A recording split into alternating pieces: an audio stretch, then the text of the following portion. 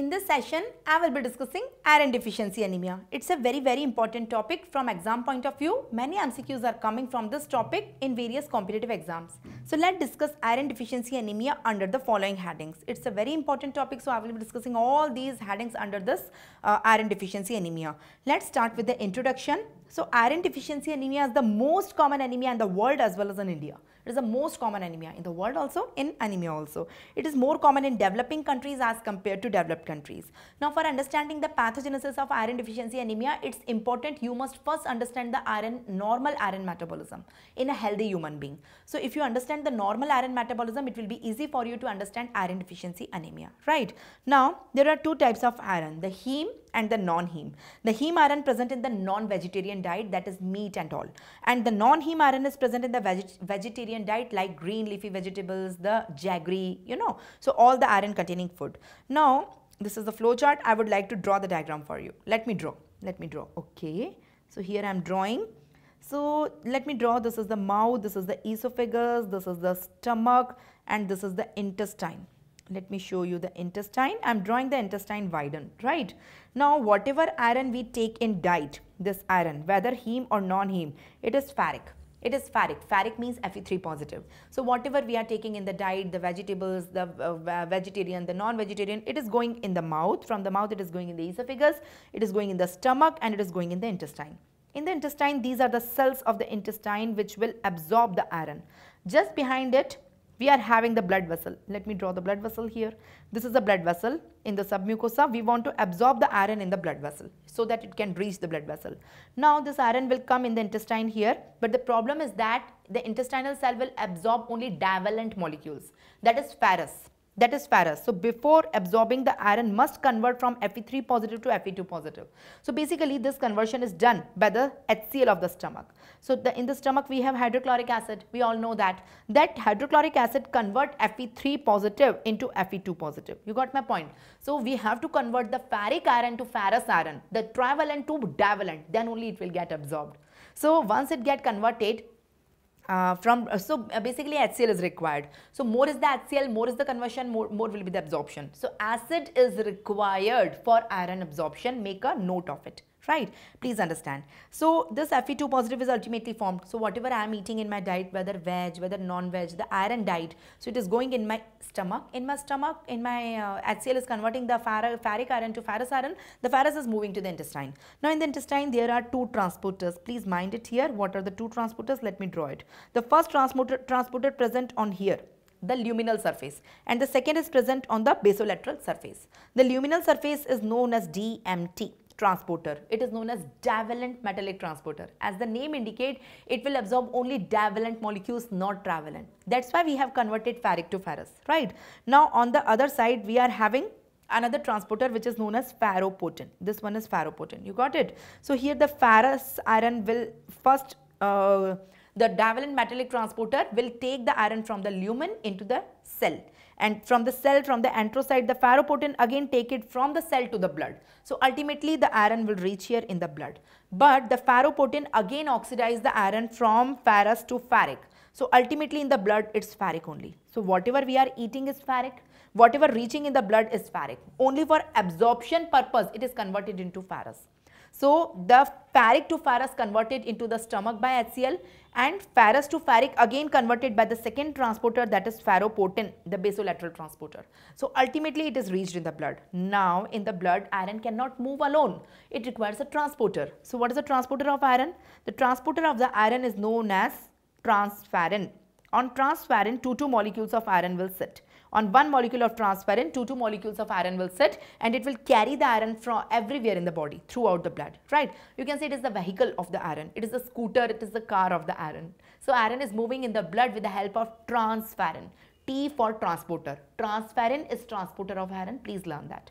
Now iron is required in the marrow, the bone marrow. So it will be carried to the bone marrow via transferrin it is carried to the bone marrow. So whatever iron required in the bone marrow for hemoglobin synthesis, it will be taken by the normoblast present inside the bone marrow, they will take it and they will synthesize hemoglobin out of that iron. Whatever extra iron is remaining after that, that will go to the liver. That will go to the liver and that extra iron will be stored in the liver in the form of ferritin. So it is the storage, it is the backup, it is the storage form of iron. So this is the summary, what we have learned from the entire summary. We have learned that the transporter of iron here, it is known as transferrin. The storage form of iron is ferritin right. We have learned the iron is getting converted from ferric to ferrous for absorption and after absorption from ferrous to ferric again, right. We learned the two transporters, the DMT one, the ferroportin one, right. So, this is the complete iron absorption. Now, let us talk about the regulation of iron absorption. Sometimes what happens now if we eat too much iron in diet, so what will happen? All the iron will go and maximum iron will be accumulated in the liver in the form of the ferroportin. But liver do not require uh, ferritin, ferritin, it's not ferroportin, it's ferritin. So, uh, once the excess of ferritin is there in the liver, liver synthesize a protein known as hepcidin. That hepcidin is synthesized by the liver that will come in the blood. Via blood, it will go to the ferroportin and inhibit and degrade the ferroportin. So, this is the function of the hepcidin, hepcidin. So more is the hepcidin, it will cause more degradation of the ferroportin. So iron, now you, whatever iron you will take in diet, it will go inside but it will not absorb. It will not, it will be excreted in feces. So whenever iron excess is there, hepcidin will come in the role. Whenever iron depleted is there, so hepcidin will not come in the role. So the concentration of the hepcidin which is synthesized by the liver, it depends on the iron uh, that we are taking in the diet and the storage form of the iron. If there is more storage, more ferritin, hepcidin will be more. If there is less storage, it will be less. So this is the complete absorption and regulation of iron. I hope you got it. The same story is written in front of you. Now, I guess if you read it, you will be able to understand it. So what I have written, please read it. Iron is taken in ferric form, it is in the diet. So ferric to ferrous conversion takes place by HCl, gastric acid. Once it get converted, the DMT, the first transporter present on the lumen, it will transmit in, inside the cell. From the cell, there is another transporter known as ferroportin known as ferroportin. It will be taken by the ferroportin and go in the blood. In the blood, in the blood, uh, in the blood, uh, okay, during this uh, transport, again it will convert from ferrous to ferric. In the blood, it is having a transporter known as transferrin. Transferrin is the transporter.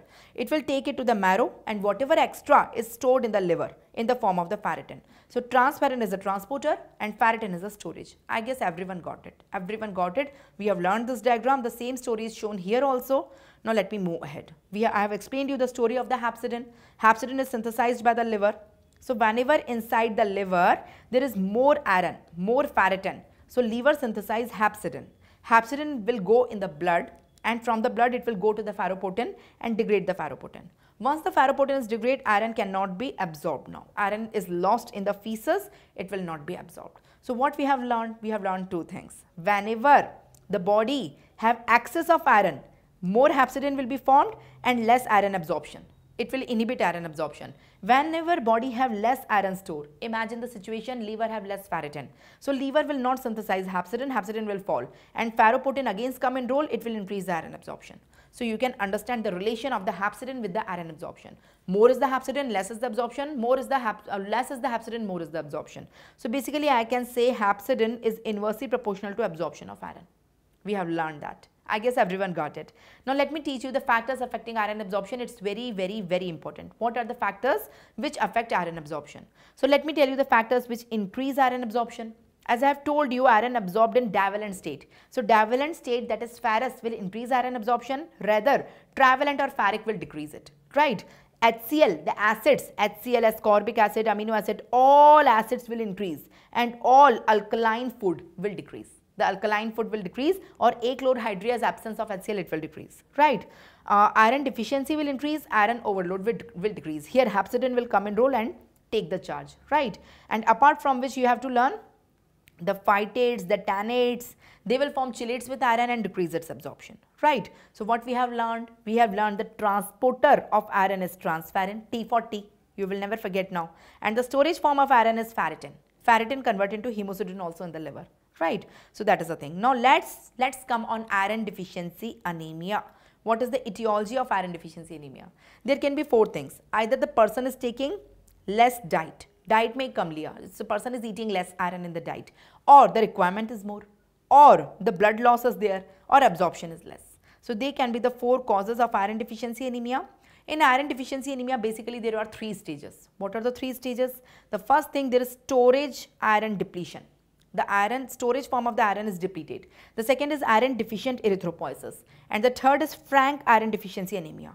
Now, what do you understand by that? Imagine a human being, just suppose I am the person, I am the patient, I am not eating iron in my, in my diet from today. So, after, if I am not eating it from today and continue it, I am not eating, not eating. So, when I will have iron deficiency anemia? I will have iron deficiency anemia today only, tomorrow? No. I am having a backup in my liver. In my liver, I am having the storage. I am having the name of the storage is ferritin. So, if I am not taking the iron in diet, the hemoglobin is still synthesized. So, the bone marrow will obtain hemoglobin from the liver now. Obtain iron for the hemoglobin synthesis from the liver. Normally, bone marrow obtain the iron for hemoglobin synthesis from the dietary iron. But if dietary iron is absent, the backup is present in the liver. So, the bone marrow will obtain the iron from the liver and continue synthesizing hemoglobin. So that stage is known as storage iron depletion. So the storage form of the iron go on depleting, depleting, depleting. One point will come when all ferritin is also depleted. Now neither diet is providing um, uh, iron to the hemoglobin synthesis to the marrow nor it is present from the coming from the liver. So basically the marrow is not getting iron for hemoglobin synthesis. So in the marrow erythropoiesis will occur but it will be iron deficient erythropoiesis. Still patient don't have symptoms of anemia. Yeah, the microcytic hypochromic RBCs are formed but still patient don't have symptoms. After some time when the patient have frank symptoms of iron deficiency anemia, it is known as frank iron deficiency anemia. I hope you got the three stages. So initially there is depletion of the storage iron right and then iron def deficient erythropoiesis and then frank iron deficiency anemia. So in the first stage only serum ferritin is low. So that's why we can say serum ferritin is the most sensitive and specific marker for iron deficiency anemia. Serum ferritin, most sensitive and specific marker, right? Remaining everything is normal. Remaining everything is normal. In iron deficient erythropoiesis, ferritin is still low but you transferrin saturation is also decreased, hemoglobin is also decreased, microcytic hypochromic RBCs are there and in frank iron deficiency anemia all the symptoms will come. So these are the three stages. Let me teach you the clinical features of iron deficiency anemia. So the patient have anemia, so patient will have non-specific symptoms like weakness, fatigue, dyspnea, palpitation, pallor. The most important is the pallor, right? Older patients may develop angina, congestive cardiac failure, CCF. There are some epithelial changes also. Most important in the nails. It's known as koilonychia. What do you mean by koilonychia? It's spoon-shaped nails. Can you see? Can you appreciate the shape of the nail here? Please appreciate the shape of the nail. It's koilonychia. Koilonychia, the spooning. It's known as spooning, right? At the angles of the mouth. Can you see the angles of the mouth? There is inflammation. It is known as angular cheilosis. It's known as angular mouth. It's angular stomatitis or angular cheilosis. The tongue you can see it's atrophic. You can see this tongue is a normal tongue. Normal human being, see it's shiny, right? It's pink, it's healthy. See, this is iron deficiency anemia. The tongue of a patient with iron deficiency anemia, it is atrophied. So see the epithelial changes. The nails are showing koilonychia. The tongue is showing atrophy and there is angular stomatitis. Now there is something known as Plummer-Vinson syndrome. It is having a triad. In the triad, one of the thing is iron deficiency anemia iron deficiency anemia is one of the type of the triad. Along with iron deficiency anemia, in the esophagus, the webs are formed. Now, if there are webs like ring-like structure, now this is the esophagus. Inside the esophagus, the ring-like webs are formed, so patient cannot swallow. It leads to dysphagia. So, the third thing is dysphagia. So, what is the triad of Plummer-Vinson syndrome? Number one, iron deficiency anemia. Number two, esophageal webs and which leads to dysphagia. Please learn that. Since iron deficiency anemia is associated with this syndrome, that's why I have mentioned this syndrome here, right? Uh, coming on the lab diagnosis. What is the lab diagnosis of iron deficiency anemia? We have to do three things. What three things we have to perform? The blood examination, the bone marrow examination and the biochemistry, right? In the blood, I will show you this chart again. In the blood, we have to see all these things. Let me start with blood examination. Of course, the hemoglobin will fall. In all anemia, hemoglobin falls. So here also the hemoglobin will fall, right? RBCs shows hypochromic, microcytic, anisocytosis, poikilocytosis, target cell and pessary cell. I will show you. Can you see this is a normal RBC? See the size and see, see the color. So basically hemoglobin is present at the peripheral two-third and the central one-third is empty. It is known as pallor, the central one-third. But see the RBCs in iron deficiency anemia. The first thing they are smaller in size as compared to normal. The size is less. So that's why known as microcytic, right? The second thing, the color is also less. The color is present only at the rim, periphery. So the pallor is area is increased. Here pallor is only one third. Here pallor is more than one third. So its color is less. That's why known as hypochromic. So size is less, color is less as compared to normal. So it's microcytic hypochromic anemia, right? So that is microcytic hypochromic anemia. You can understand the microcytic hypochromic anemia here. You can see all the RBCs, they are smaller than lymphocyte. We compare the size of the RBC on a peripheral smear with a small lymphocyte. So you can see all the RBCs are smaller than the lymphocyte and color is also less. You can see here target cells. Appreciate the target cells. Right. In the slide, you can see all the RBCs are different size. Some are normal, some are smaller. So the size is different. That is known as N isocytosis. That is known as anisocytosis. Right. And you can see the shape is also different. Some are teardrop, some are elongated, some are circular. So it is known as poikilocytosis. Poikilocytosis. So there is anisocytosis, cytosis, and isocytosis as well as poikilocytosis along with target cells right. So, coming on the next point, the retic count is slightly low, MCV less, MCH less, MCHC less.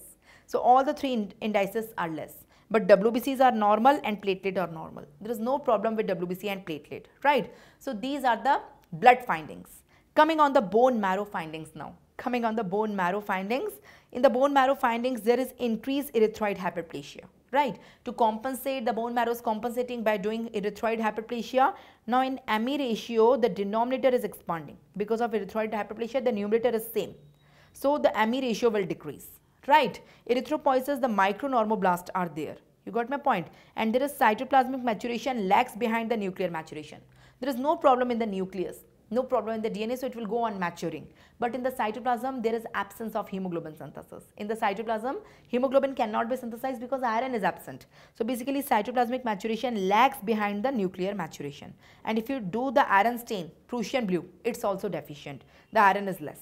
You can see this is a normal normoblast inside the bone marrow and see the size of the blast normoblast here in iron deficiency anemia. So this type of blast is known as microblast, micronormoblast. This is Prussian stain. This is a normal person. See the Prussian stain here and this is a person with iron deficiency anemia. See the Prussian stain here. Can you appreciate the blue dots here? All the blue dots here is the storage iron and appreciate the blue dots here. So it is reduced, drastically it is reduced. You can say it's drastically reduced, right? Coming on the uh, biochemical findings. So in biochemical findings, the iron, of course, uh, the iron deficiency anemia, serum iron is low and serum ferritin is low. So iron is low and the storage of iron is also low, it is already depleted. So ferritin is the most sensitive and specific marker for iron deficiency anemia, it's the earliest marker, right? But TIBC, the capacity will be high and transferrin saturation is low, right? So you can understand here in this diagram, can you see these black color? These are the transporter, transferrin. I have told you on one transporter, two, two iron molecules are there. So here also we are having 2, here also we are having 2. So just suppose in human blood we talk about percentage, we have 100 transporters. These 100 scooters or auto rickshaws are there. These are the transporters of iron. Out of 100 at a time only, only uh, 33 are saturated, 66 are empty. That the saturated one is known as transferrin saturation and the empty one are known as TIBC. TIBC is the empty one, right? That is total iron binding capacity. Itna capacity or that is total binding iron capacity, right? So these are indicating TIBC because they are empty and these are indicating the saturation. So we are having two things with us, the filled one and the empty one. The filled one are known as transferrin saturation and the empty one are known as TIBC. You got it? Now in iron deficiency anemia, what will happen? You only tell me. The filled one will reduce and the empty one will increase. Say yes or no. It's common sense. So that's why I have written the transferrin saturation is low. The filled one are low, but the empty one will increase. So TIBC increases in iron deficiency anemia. Please never forget. It's a very important concept. So can we revise? So this is the lab diagnosis. We are done with the lab diagnosis also. So can we revise here? So in the blood, the hemoglobin will be less.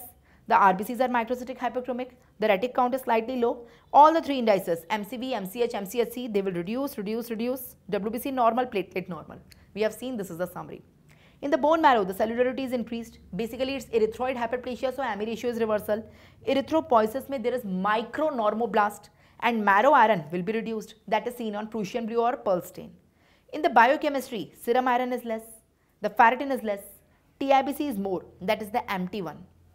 Empty uh, trans, uh, transferrin molecules and transferrin saturation is the filled transferrin molecules, they are reduced. So this is the summary of a case of iron deficiency anemia. You can get clinical questions based on the summary.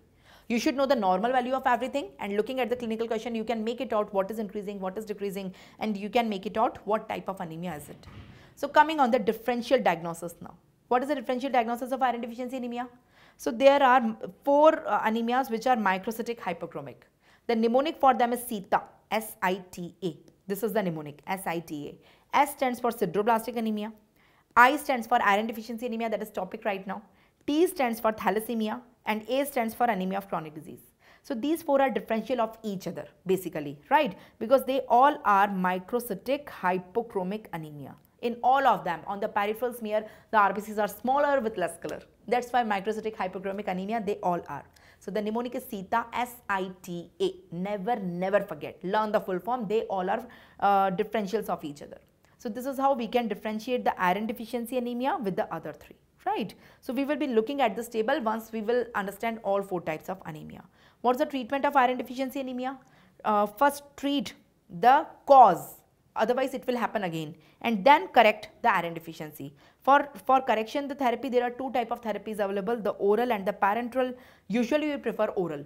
Oral comes in the form of the tablets there are three type of tablets three type of formulation you can say ferrous sulfate, ferrous fumarate and ferrous gluconate. Most common is ferrous sulfate which is available in the form of the tablets. This is oral therapy. In parenteral therapy, we directly give iron IV. IV, right? We are giving it directly IV. But we do not give it usually. There are certain indications. When patient cannot take the oral, when patient have malabsorption, the patient cannot absorb. Post-op case or uh, there is if we want a rapid replenishment in case of emergency, right? So here only one preparation is there, iron dextran. For IV, only iron dextran is available. For oral, three preparations are there. For IV, only one preparation is there. Response to the therapy. As soon as you will give the therapy, either oral or IV, the first thing happens is increase in reticulocyte. So reticulocyte go on increasing. It is showing that the patient is responding to the therapy. So that's all about iron deficiency anemia. I hope you have learned and understood the topic very well. Let me solve some MCQs based on this concept. The first question is in front of you. Iron is absorbed. Iron absorption is decreased by all except. This is all except. The question is about the except. So iron absorption is decreased by what? It is decreased by calcium because it forms chelates. It is decreased by tetracycline, it forms chelates. It is decreased by phytate, it forms chelates. But ascorbic acid is an acid. We have learned that all acids including HCl, hydrochloric acid, amino acid, they increase iron absorption. So in the question except is there, I will go with D. The correct answer here is D. Right. So the second question is in front of you. Which of the following glycoprotein is transported in iron metabolism? I want to ask you transporter of iron. T for T. So the transporter of iron is the transferrin. Right. So that is the correct answer. It's B. You will never forget. So the next question, which of the following is the indicator of body iron storage? I want to ask you the storage form of iron. So we know the transporter of the iron is transferrin but the storage form of the iron is trans uh, i'm sorry the storage form is ferritin. It's wrongly spelling here. It's ferritin. Ferritin. The correct answer here is a it's ferritin. Right it's ferritin. It should be f. It's ferritin. Right. The next question is in front of you. What is the earliest sign of iron deficiency anemia? The earliest sign of iron deficiency anemia is it increase in TIBC is it decrease in serum ferritin? Is it decrease in iron or all of the above? Of course the most sensitive specific and earliest finding is ferritin so decrease in ferritin is the earliest also, sensitive also, specific also, never forget. So the correct answer here is B. All three happen, I agree, but earliest is B. You got my point? The next question is in front of you. Which of the following is not seen in iron deficiency anemia? So of course, hypersegmented neutrophils are not seen in iron deficiency anemia. They are seen in megaloblastic anemia. So microcytosis precedes hypochromia. It is correct. MCHC is less than 50%. It is correct. It is the most common anemia in India as well as world. It's also correct. But the first option is wrong. So correct answer here is A. The next question is in front of you.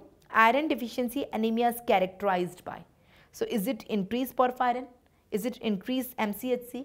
Is it increased ferroportin or increased TIBC? So only thing which increases in iron deficiency anemia is TIBC. That is the empty, non-filled transferrin molecules. So I hope the correct answer here is D. I hope you got it. I hope you got it. So that's all about iron deficiency anemia. I have, I, I think you have learned the topic well. It's a very important topic uh, for competitive exams. uh, please uh, listen if you have watched the lecture attentively try mcqs all mcqs based on this concept based on this topic i am sure that uh, you will be able to solve all of them thank you